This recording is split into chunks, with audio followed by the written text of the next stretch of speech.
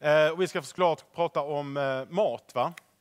Och vi har med oss Kristina Vedén Ja, som är tryffelforskare och tryffelforskare och företagare. och företagare. Jonas Köhler, VD för Menigo. Vi känner alla till vad Menigo sysslar med. Ja. Och även Breaks, som vi ska få höra lite mer om. Andreas Hedlund, som vi känner väl just nu, 2002 års Årets kock och Nobelprismiddag-dirigent kan man väl säga va? Precis, mestadels eh, där borta på, i Stadshuset. Mycket bra. Björn Franzén, kock, två stjärnor i Michelinguiden, högt rankad, priser överallt, alla vet vem man är. Gamla stans stora krögare. Johan Widing, lantbrukare och exceptionell kycklingbonde. Precis. Och Kerstin Persson, mjölkbonde, jobbar med Arla på, vad sa vi?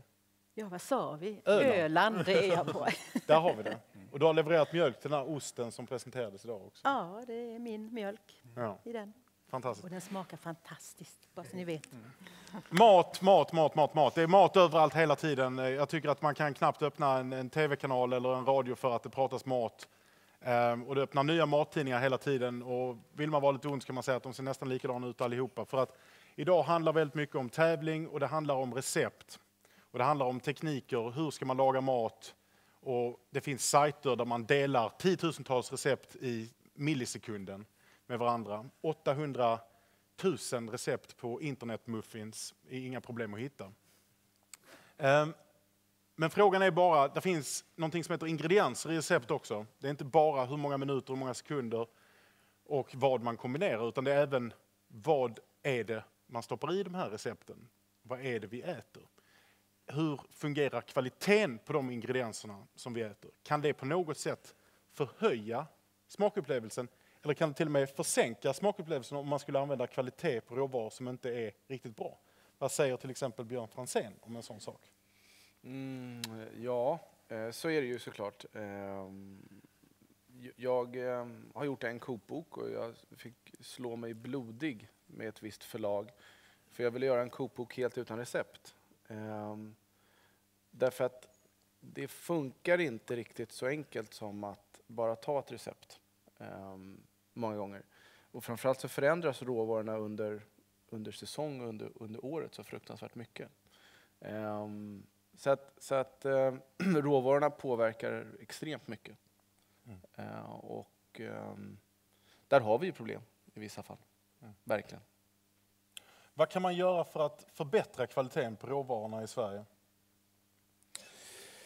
Eh, ja, framförallt så måste vi börja diskutera smak och inte bara eh, hur snabbt vi får fram de här råvarorna och hur billigt vi får fram dem. Eh, parametern smak har liksom inte riktigt funnits med, framförallt inte i den större industrin eh, där, där det bara handlar om, om, om eh, tempo och pengar. Ehm, vi har ju startat en liten grej, det är ett exempel. Ehm, men framförallt så tror jag att det handlar om att man måste ställa sig frågan själv. Ehm, smakar den här tomaten som en tomat ska smaka? Måste vi verkligen ha sparris i butiken 12, 12 månader om året? Och så vidare. Eh, Kött är någonting som engagerar väldigt många. Det är någonting som vi äter väldigt mycket av i, i Sverige. Och då tänker jag framförallt på nötkött. Um, dessvärre så kan, det, kan man ibland uppleva att det finns nästan bara tre sorters eh, saker ifrån, ifrån eh, djuren. Och det är filé, ryggbiff och färs. Med någon olika tillägg. Eh, igår kväll så åt vi på Niklas Ekstedts restaurang och kötträtten var en ehm, en ko ifrån Galicien i Spanien. En 14 år gammal mjölkko som sen hade fått hänga, jag vet inte hur länge, om det var åtta veckor eller någonting sånt. Um, vad händer med våra mjölkkor? Vad gör vi med våra mjölkkor? Om jag frågar en mjölkbonde det. Ja, ambitionen som mjölkbonde är ju förstås att kon ska leva ett bra liv och lämna mjölk i flera år, så många år som möjligt. Men, men när hon vi ser att hon börjar tackla av så är det klart att ambitionen är också att få iväg henne som en helt frisk ko till slakteriet. Och, och det gör vi, vi. Där lämnar vi vårt ansvar så att säga när vi har lämnat henne till slakt. Eh, Sen tycker ju jag då, som också får äta lite av mina djur hemma, vi slaktar ju hemma till oss själva då, att, att visst, ett, ett gammalt djur som får hänga länge smakar ju fantastiskt. Men hur mycket vet svenska folket eller till och med avancerade restauranggäster om det här? Inte ett smack, skulle jag tro. Mm. Jag tror inte det. Men är det inte då märkligt att, vi, vi, att svenska kockar väljer att köpa in helt enkelt gamla mjölkkor från Spanien? När vi har gamla mjölkkor i Sverige som säkert Ja. bara blir kattmat. Alltså, spontant så vill jag inte säga vad jag tänkte. Jo, men det ska du väl göra? Nej, men det är klart att det är så. Det handlar ju också där om hållbarhet. Det är väl inte okej a- att hämta kor från, från Spanien när vi har det i Sverige. Och frågan är hur vi löser det då. Men det, det måste ju vara en efterfrågan till slakterierna för att de ska våga och satsa på det här. Jag ser ju det slakteriet vi lämnar till, de, de, kör, de har ju hängmörat kött. Och visst, det kostar ju 150 kronor mer kanske, men har man en gång ätit en, en riktigt bra hängmörad köttbit, då vill man ju inte köpa det andra. Men har man aldrig provat så vet du inte vad det, vad det är du väljer bort. Och där kommer till problematiken hönan eller ägget. Vad kommer först? Efterfrågan eller tillgång? Och då kan man ju fråga sig själv, ja det är klart om det inte finns någon som känner till att man kan äta 14 år gamla mjölkkor, vem ska då efterfråga det? Ingen såklart. Och då hamnar vi i en kulturell spiral som bara går neråt. Och då tänker jag kanske Menigo och Breaks har någonting att, att, att tillföra i en sån sak. Kan ni driva fram efterfrågan på en produkt som det inte redan finns en efterfrågan på? Ja, det, det gör vi idag och lite av den här, eh, om man säger kunskapen då med den här spanska kon, kan man ta den, den utvecklingen av det till Sverige? För att det som de gör med den spanska kon är efter produktionen så får den gå och vila och äta på sig och må ganska bra, gå i en pensioneringsstund. Och det gör att då får ju djuret tillbaka både muskel och en hel del kraft och då blir det en helt annan smak. Så att vi har väl kanske sagt så här att när du är färdig med din ko så tar ditt ansvar slut. Men vad ska vi göra för att få det ytterligare en nivå? Och då får man ju en, en bättre kvalitet av det svenska. För det är ju problemet att ibland har vi, får vi en efterfrågan ifrån Andreas, jag vill göra den här rätten. Och så tittar vi på, finns kvaliteten, smaken, specifikationen i Sverige? Och tyvärr så hamnar vi ofta på att vi måste då importera från någon annanstans i världen. Och då blir man ju som svensk lite irriterad och ledsen. Mm. Men kan distributionen påverka och driva fram och ta helt enkelt initiativ till att, nej men titta nu här, vi har ju en massa gamla svenska mjölkkor som vi skulle kunna hängmöra och sen introducera. Men det har ju åtminstone vad jag vet inte hänt hittills. Vi håller på med ett par projekt, ett inom kött och eh, som precis är i sin linda. Och tar lite av det här eh, vad är det som vi behöver på tallriken och så tar vi det baklänges. Istället för att som i Sverige vi har gjort väldigt länge tittat på den produktionsoptimalisering i ena änden. För det är ju så att säga, det är ju både och, man måste ju mötas däremellan. Och kan vi få efterfrågan utifrån produkter som vi kan använda då där kommer vår roll in. Och ta med oss den kunskapen. Så här kan man göra i andra länder och framgångsrikt kan vi inte göra så i Sverige också. Men ja, då är vi ändå tillbaka samtidigt igen, ja, om efterfrågan kommer, om det kommer. Vem ska driva den efterfrågan? Vem ska ta fram den efterfrågan? För att det är uppenbart, mer eller mindre objektivt sett, att detta är fantastisk eh, mat att äta. Ja, vi driver ju så att säga efterfrågan, eller första delen av en efterfrågan genom att skapa tillgängligheten. Och där, där är- ser vi vår roll att både ta tekniker, produkter, kanske grönsaker som man har odlat en gång i Sverige tillbaka till Sverige. Varför kan vi inte börja odla mera vitlök i Sverige som man gjorde för 350 år sedan? Då var vi självförsörjande på vitlök i Sverige. Idag har vi bara fransk vitlök. Så att det finns saker och där tar vi med oss det tillbaka och så säger att vi vill ha svensk vitlök. Och så kanske det nästa år finns tre odlare i Sverige som är fokuserade. Förhoppningsvis blir det så.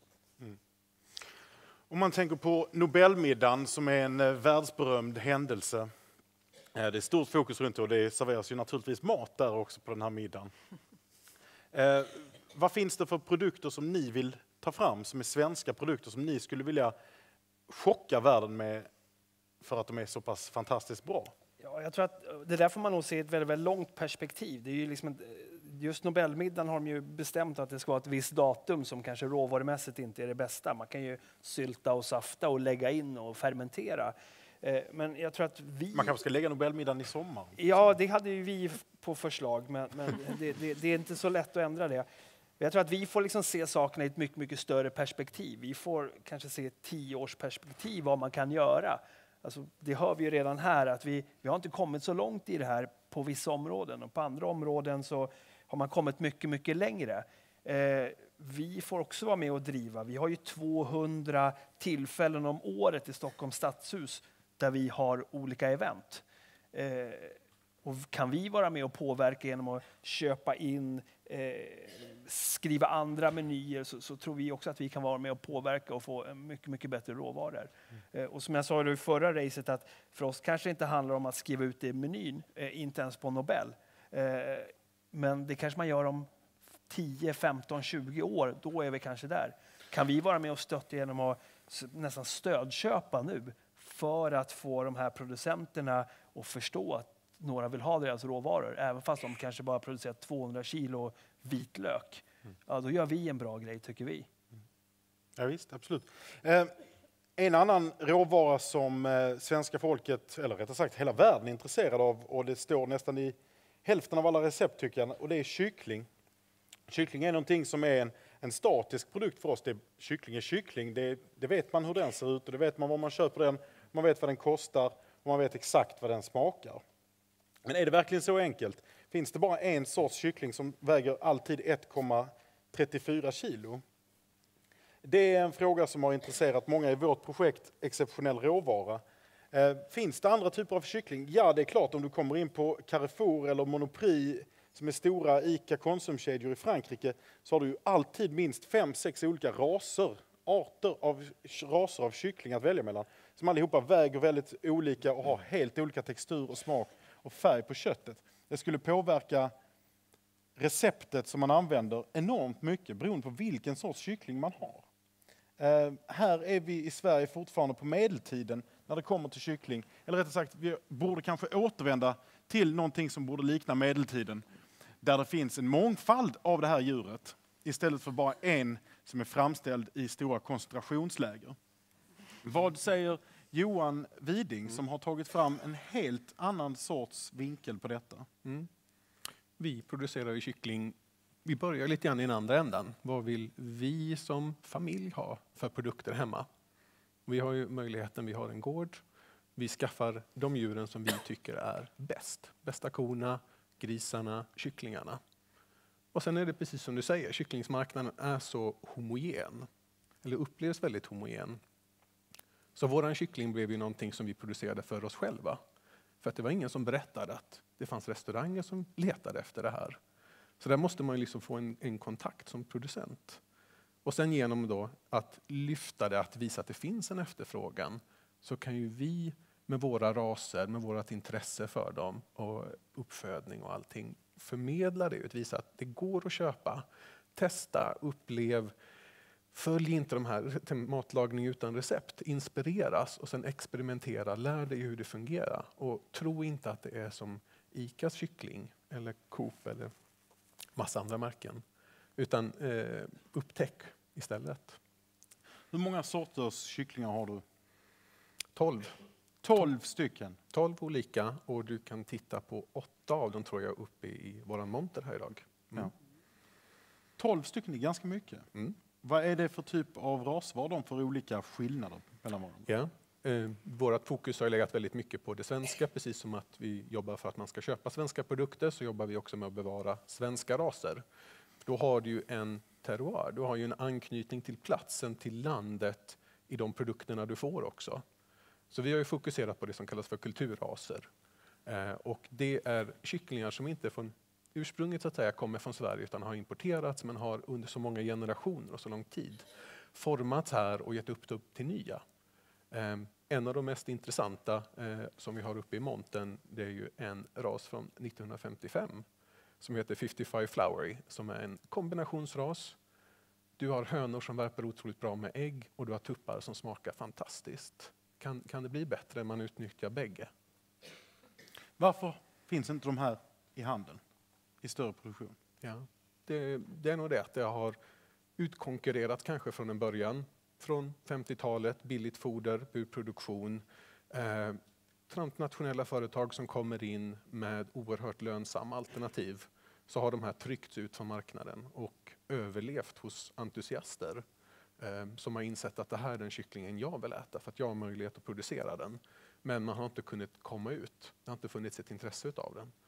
Och det hoppas vi ju och ser tecken på har brutits nu. Att man börjar, kan hitta, man kan samarbeta med kockar. I vår vinkel så är det ju liksom den här feedbacken. Vad är det du vill ha i slutändan? Hur kan mina handlingar och mitt agerande få den produkten som du vill ha? Alltså gäller det foder, gäller det uppfödningslängd så att säga? Att vi har ju alltid djurfokus, det är ju först. Och sen liksom att hur kan vi styra tillvägagångssättet för att få en fantastisk vara?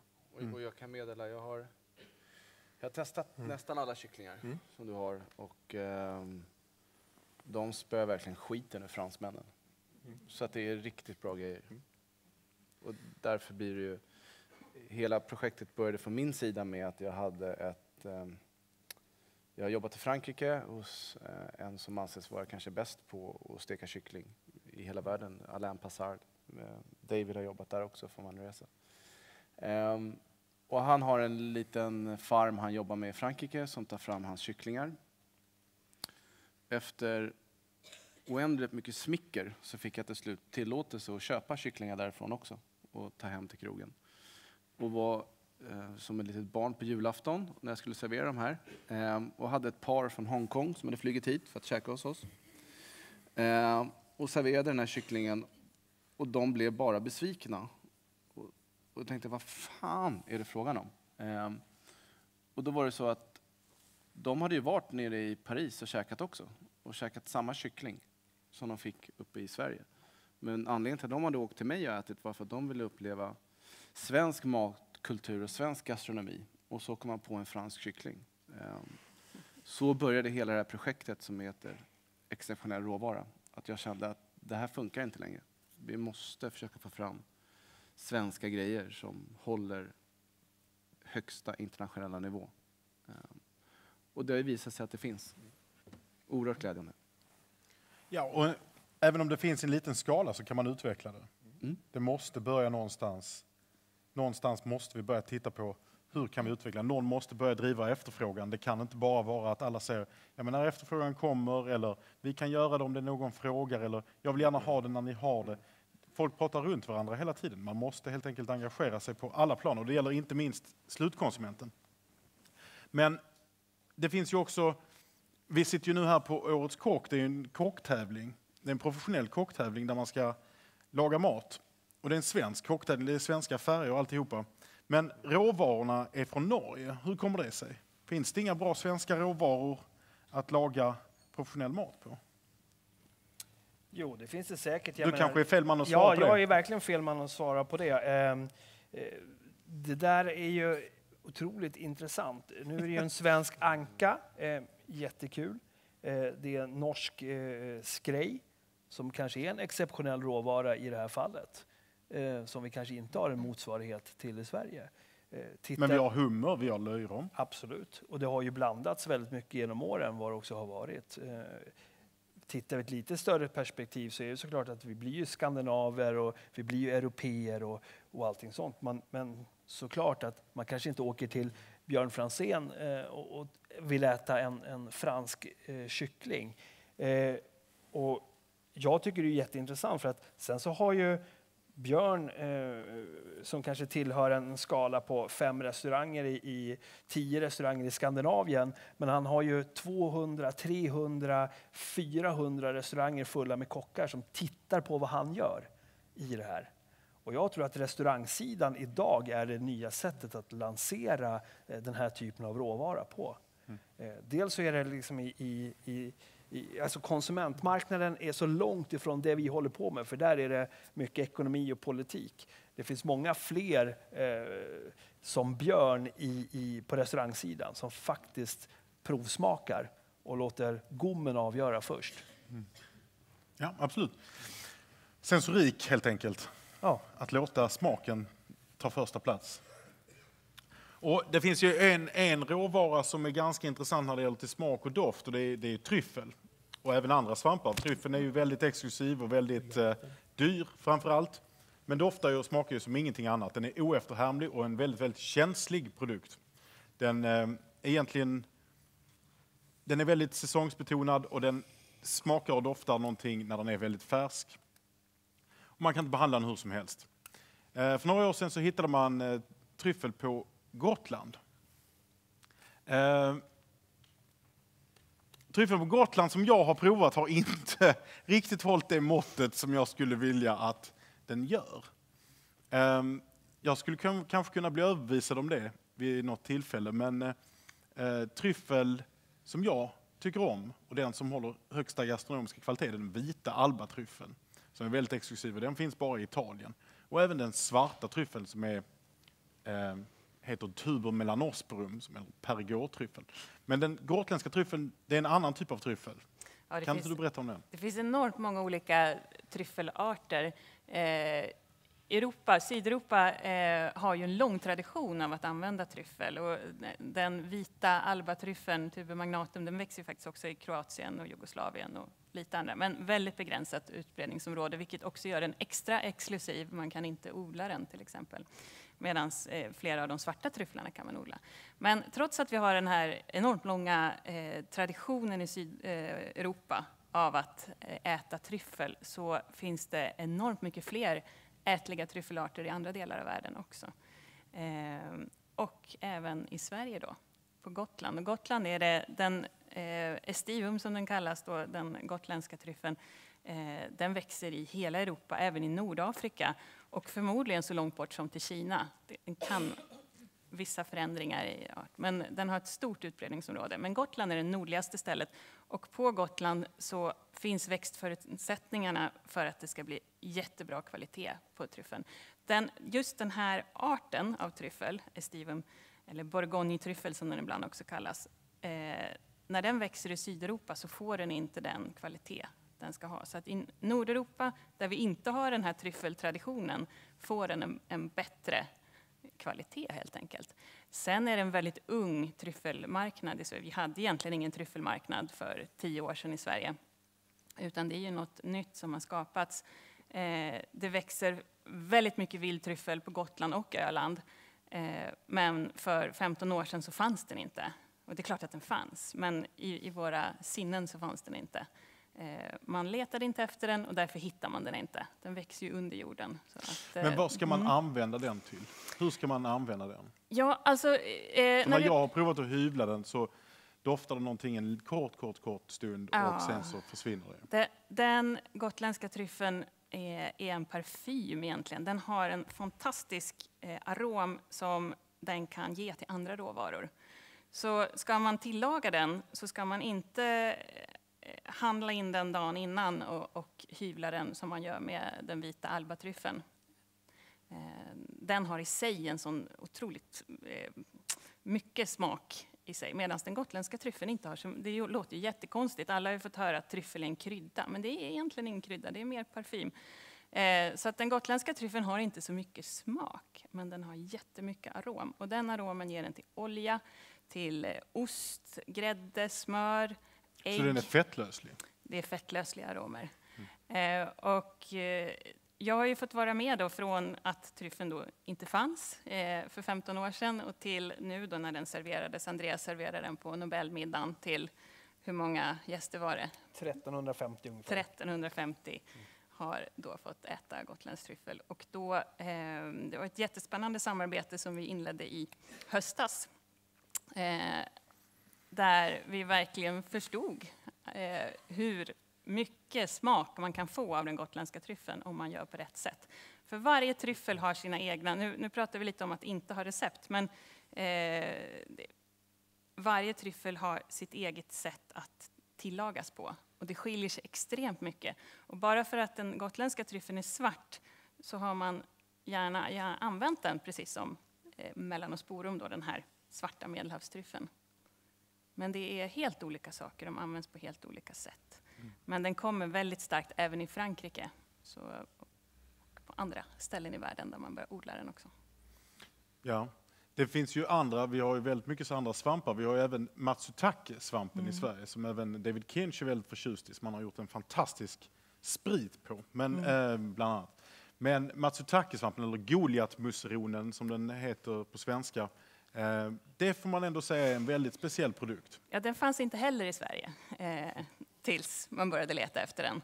Och I Japan så växer den i otroligt oländig terräng. Det är eh, farligt att, att leta efter den. Eh, det är så brant och, och eh, svårt att ta sig fram. Medan i norra Sverige så är det tallhedar, man bara går. Japanerna som kommer dit på Matsutake turistresor eh, tror inte sina ögon. Liksom bara gå och plocka när det är ett bra år. Men den matsutaken eller goliatmusseronen fanns inte ens med i våra svampböcker. För att i Sverige åt man inte bruna musseroner. Ehm, Så att det är väldigt mycket psykologi. Så där har vi en hel skatt som bara ligger och väntar på att bara plocka upp. Ja, visst, och den är fantastisk och den är identisk med den japanska, ehm, med den japanska matsutaken också. Eh, annars så importerar japanerna ganska mycket matsutake från Korea, men det är en annan, eh, en annan art. Men den norrländska den är precis densamma. Så där kommer forskningen in också som kan Ja, det är hjälpa ett till jätteintressant här. Mm. område att ta fram någonting som nästan bara finns i, eller används i Japan där den kostar, jag vågar inte säga några siffror, men den är otroligt dyr i Japan. Det är världens väldigt dyraste svamp. Ja. Eh, har du någon uppfattning om vad den kan kosta per kilo? Eh, Det är många tiotals tusen, men Ja, då är är det alltså mycket för en, man köper aldrig ett kilo, man köper ett exemplar. Ja. Mm. Den är mycket, mycket dyrare än vit albatryffel som anses som den finaste tryffeln. Ja. Och den har vi i våra skogar. Ja. Björn har jobbat lite grann med den här Matsutake-svampen i perioder. Va, vad tycker du om Matsutaken? Ja, det är matporr. Mm. Jag älskar den. Ja. Ehm, Beskriv hur smakar den, hur doftar den? Nej, men alltså, framförallt att hitta en svamp som är... Um, det, det, det har så många olika användningsområden. Alltså, den går att hyvla rå och håller textur. Den är alldeles utmärkt att både grilla och steka. Uh, passar sjukt bra med kyckling. Mm. Med ljusare kött. Ehm, så att lite kyckling från dig och lite matsutake där och så då är man hemma. Vet. Ja. ja, den har ju nästan lite, sån här, lite kanelaktiga toner, nästan lite cederträd, så här bränt cederträd. Den har otroligt starka parfymer när den är helt färsk och nyhyvlad. Det får man väl ändå säga är en, en riktigt exceptionell råvara, en riktig kvalitetsråvara som vi inte har en aning om att den finns. Och jag menar, säkert om tre år så kommer vi att upptäcka andra saker i Sverige som vi inte visste att vi hade eller som vi inte visste att det här är ju en fantastisk produkt att äta. Eh, hur gör man det? Ja, det kan man ju göra genom erfarenhet, att folk bara går runt och plockar, och att man hittar det. Men det hade varit så fantastiskt bra om man hade kunnat organisera sig lite mer i Sverige, att kunna hitta hur ska vi kunna engagera oss så att den här utvecklingen går snabbare, så att vi kan få fram fler av de här produkterna som vi längtar efter, eller som vi inte visste att vi längtade efter. Har du någon, någon eh, idé om det? Oj. Du som var med i tryffelsvängen från början. Ja, ehm, vi, vi hade ju stöd, på, på, trots att tryffeln inte fanns då, så trodde ju myndigheterna på Gotland på oss eh, och, och ville satsa på det här för att se om kunde få fram en ny gröda för Gotland. Så att det forskningsprojekt som jag var eh, en del av hade stöd från Länsstyrelsen och kommunen på Gotland och lokala EU. Så att där hade vi med oss den biten. Och sen har vi arbetat eh, väldigt mycket med samarbete med markägare. Eh, så att det inte blir en isolerad forskning som man sen ska försöka nå ut med. Utan vi har hela tiden från början arbetat tillsammans.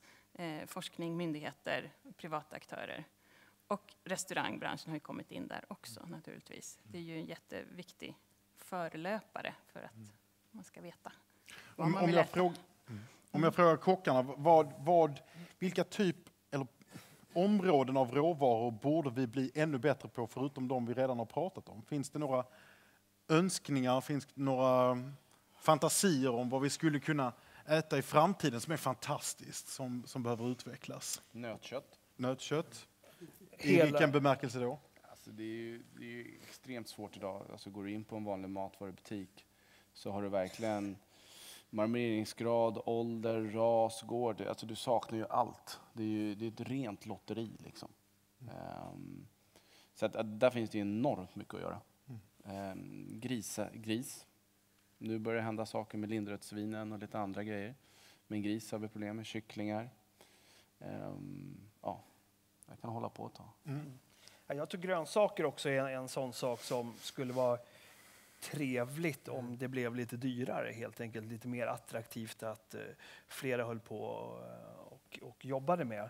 Eh, jättesvårt att hitta grönsaksodlare som, som eh, eh, egentligen kan ha en dialog med oss eh, i rätt mängder. Eh, finns ju, man måste nästan gå in i, i samarbeten där man egentligen pratar och, eh, och köper direkt. Eh, Men där finns det enligt mig, eh, med, det blir säkert politiska incitament för att göra det, för att göra det verkligt, men tänk bara liksom allt här runt om oss, runt i Mälardalen.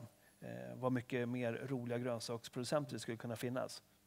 Vad är problemet då? Varför finns det inte fler grönsaker? Varför finns det inte mer kvalitativa grönsaker på restaurang? Varför arbetar vi inte mer med det när, det ändå, när vi har ett geografiskt enormt land? Vad är det som har stoppar oss just nu?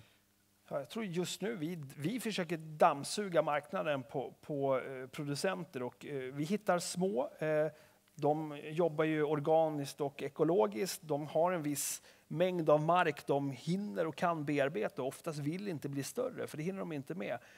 De säger gärna att ja, men om det kommer någon annan så är vi med, gärna med och pratar ihop oss med de andra så att vi kan i alla fall dela med oss av erfarenheter. Men det verkar inte komma så många andra. Framförallt det som har hänt är väl att tittar man ur ett gastronomiskt perspektiv, eh, så tittar man på Norden så eh, det har hänt enormt mycket på restaurangmarknaden de senaste tio åren.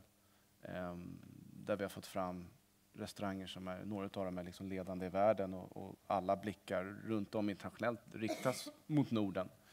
Ehm, så liksom restaurangerna har dragit iväg men man har inte, producenterna har inte hängt med på den resan. Så det, det, det är där vi sitter idag. Liksom. Ehm, men, men det finns ju hopp därför att det finns många producenter som, som vill med på den här resan och vill hjälpa till att ta fram eh, extremt bra råvaror till svensk, svenska kockar och svensk gastronomi. Och jag tror inte det bara behöver, man kan titta på Norden som en helhet där också. Det är väldigt små avstånd. Ehm, men det är det som har hänt och det är därför vi sitter i den båten vi sitter idag. Där kockarna skriker efter mer och mer grejer. Ehm, och istället har då producentledet riktat in sig mot um, ja, skicka ut stora mängder till, till mm, låg, låga priser. Ett problem kan också vara att folk inte riktigt möts. Alltså kockar på enskilda restauranger pratar med enskilda bönder. Eh, bönder pratar med varandra men kanske inte riktigt kommer bortom sin egen lilla gårdsbutik som ändå bara den lokala familjerna kommer och handlar mat på. Det är en uppfattning som jag kan ha lite grann. Och i, I andra länder så, så eh, är det väldigt vanligt att nästan inte varje stad eller varje by, men, men inte långt ifrån, har en egen matfestival. Alltså en riktig matfestival där bönder ställer ut mat, där kockar lagar mat på en enklare nivå, där råvarorna är fantastiska. Ehm, och där att det finns en riktigt samlingscentrum där människor verkligen inte bara pratar om maten, utan maten finns överallt. Man kan köpa den, man kan sälja den, man kan äta den, man kan prata om den i seminarium. Ehm, jag måste bara få flagga för en, en pytteliten sak och det är att igår faktiskt så blev det klart att eh, det kommer att ske en eh, matfestival i Skanör Falsterbo i Skåne där jag bor i maj som jag arrangerar. Eh, som kommer att handla om just det här och det kommer att bjudas in väldigt många kockar och bönder från hela Sverige och lite andra platser. Men det kommer mer information om det på olika kanaler lite senare. Sen måste svenska kockar, det, det börjar bli en förändring, men svenska kockar måste vara transparenta. Alltså, det vill säga, man kan inte bara vara nöjd med att man har hittat en bra kyckling till sig själv, utan man måste jobba ihop som en enhet och det har vi varit dåliga på i Sverige. Vi har hållit oss på vårt håll och så har man sett om sitt eget hus och sen är man nöjd. Utan ska vi komma någonstans och få en ordentlig förändring som också sipprar igenom systemet så att det till slut når Coop och Ica och allt vad det nu är, så måste de svenska kockarna jobba ihop. Det är då vi får kraft Med bönderna. med bönderna. med bön och med våra leverantörer också. Så för att det det ska absolut. bli liksom stort på riktigt så måste man samarbeta liksom över hela gänget. Och jag blev jätteglad i förra samtalet när vi pratade om tomater och fått guldmedalj i tomatodling. Ja, det är väl fantastiskt att kunna liksom uppmärksamma på det viset. Vi håller ju på att tävla i mat här uppe nu. Varför inte tävla i tomatodling? Vi tittar ju liksom inte riktigt på de kvaliteterna. Men det är väl, eller, Eller kyckling. kyckling, ja. Varför tävlar vi inte i kyckling? ja. Varför tävlar vi inte i kyckling? Ja? Ja, Det är väldigt intressant. Men jag tror också att det handlar om samarbete. Vi måste samarbeta och folk måste interagera på ett mer konkret och organiserat plan. Breaks Kan inte du bara berätta lite snabbt vad Breaks handlar om? Sen skulle jag vilja släppa fritt för lite frågor i publiken. Breaks är vårt moderbolag, finns i eh, stora delar av Europa och vi säljer bara mat till eh, restauranger och till eh, offentliga sektorn. Och eh, vi har ett eh, stort provkök med eh, utvecklingsenhet i England och i Frankrike. Det vi har gjort för den svenska marknaden det är att vi så att säga, tar hjälp av den resursmängd som finns där det bara är fokus att ta fram mat till restauranger och skolkök eller storkök. Eh, för att i Sverige, lite av det här med strömlinjeformen är att vi har väldigt lite eh, utvecklingsresurser till restaurangdelen av matnäringen.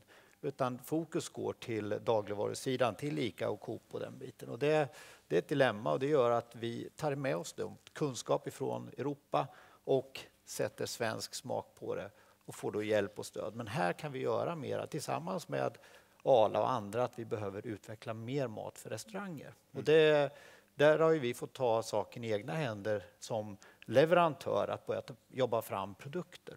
Men här kan vi göra ännu mer. Och vi har tagit fram några produkter. Man har tittat på en sån här basal sak som att när man värmer vita bönor till frukostmenyn så har man förut använt en vita böna. Allt är inte high-end gastronomi utan det är en hel del basfunktioner. Då har man märkt att om man då har en sån här HP-vita bönor så klarar den inte den miljön som det är att servera ett par hundratal personer för då blir det skinn på den. Och det berodde på bland annat fel typ av böna och för lite vatten i så att säga, produkten, för då blev det skinn på det. Och där har man då forskat i vita bönor. Det är inte så kul, det är inget sexigt. Men det gör att när man kommer efter 40 minuter till frukostbuffén så är det fortfarande en fräsch produkt. Och det är sådana små, små, små saker där man tittar på vad är vardagen för våra kunder? Inte för hemma i ett privat kök. Och där är så att säga väldigt mycket av det. Likadant med kycklingproduktionen där tyvärr vi säljer för mycket importerad brasiliansk och thailändsk kyckling. Ibland till många skolkök. Eh, och då är det nog inte för att man inte vill ha en lokalproducerad skånsk kyckling utan för man har faktiskt inte ekonomiska resurser att välja. Eh, Ekonomiska resurser kan också handla om, om en kulturell fråga, vad man är beredd att Ja. betala för en kyckling. Tycker man att en kyckling alltid ska kosta 20 kronor eller tycker man att en kyckling skulle kunna kosta 250 kronor? Det är en, en kulturell fråga eller en marknadsföringsfråga skulle man också kunna Eller säga. prioriteringsfråga. Jag tror att vi Ja. måste våga eh, att bra mat kostar lite mer. Mm. Lägga Ja. lite Men mer pengar på Ja. då tycker jag vi kan prata lite om osten också. För där har Ja, vi verkligen ett gott exempel på att, att man verkligen kan hjälpas åt genom att vara stor. Och jag, jag har idag varit, haft nöjet att, att prata om den unika osten Borgholm då, som kommer från våran gård på Öland. På, gjord på sommarmjölken som våra kor gör när de går ut och betar. Och det hade ju aldrig gått, utan det är ju Arla då som gör det. Jag är ju Arla-leverantör, väldigt stolt sådan. Och, och där den mesta av min mjölk går den vanliga vägen till Kalmar mejeri. Men så man hört då kockarna prata om att man vill ha en exklusiv svensk hårdost. Och det hade ju vi bönder aldrig mäktat med att göra för att det är så dyrt och så svårt. Och då har man då mejeriet i Kalmar, alltså Arla, som gör den här. Och den här osten, jag vet inte om den går att smaka, den finns ju någonstans i huset. Eh, Är den gjord på pastöriserad eller opastöriserad den är mjölk? gjord på pasteuriserad mjölk, men sen är den ju inte standardiserad. Så det är ju våra kors naturliga halter då, som de är på sommaren och, och den smak som det blir av att de går ut och betar och de örter som växer runt om på, Mm. på våra öländska marker då i Arvelunda.